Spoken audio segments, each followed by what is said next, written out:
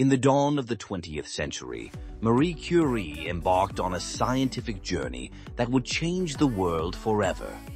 Her groundbreaking research into radioactivity led to the discovery of two new elements, polonium and radium. During World War I, Curie developed mobile X-ray units, nicknamed Little Curies, which revolutionized battlefield medicine and saved countless lives. Despite facing gender discrimination, Curie became the first woman to win a Nobel Prize and remains the only person to win Nobel Prizes in two scientific fields. Tragically, the very elements she discovered would ultimately lead to her demise, as prolonged exposure to radiation took its toll on her health.